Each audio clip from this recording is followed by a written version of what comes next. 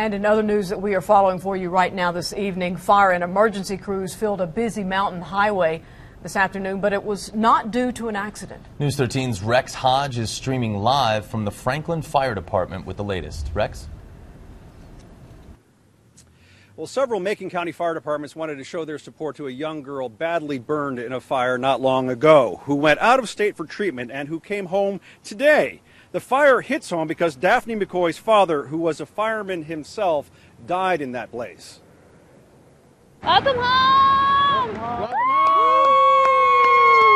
Macon County firefighters and emergency crews wanted to let nine year old Daphne McCoy and her family know they've got their backs. It gets to us, and we want to we want to be there and do everything that we can for our families and, and each other. They lined busy Route 441 in Franklin to welcome her and her family back to their home county after fire destroyed their Nantahala home in November. Daphne's father, a firefighter himself in the small community, died trying to help his family. Brad McCoy carried Daphne to safety, but she was badly burned and taken to a Georgia burn center for treatment.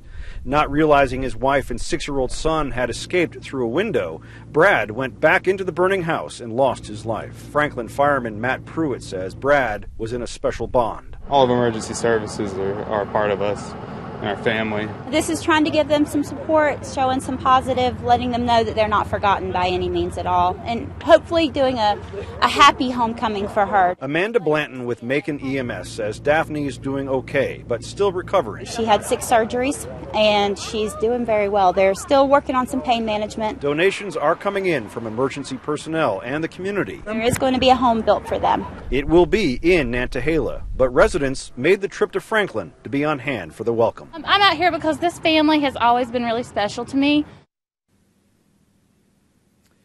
And donations to help the family are being accepted through United Community Banks in the area. Reporting live tonight from Macon County, Rex Hodge, News 13.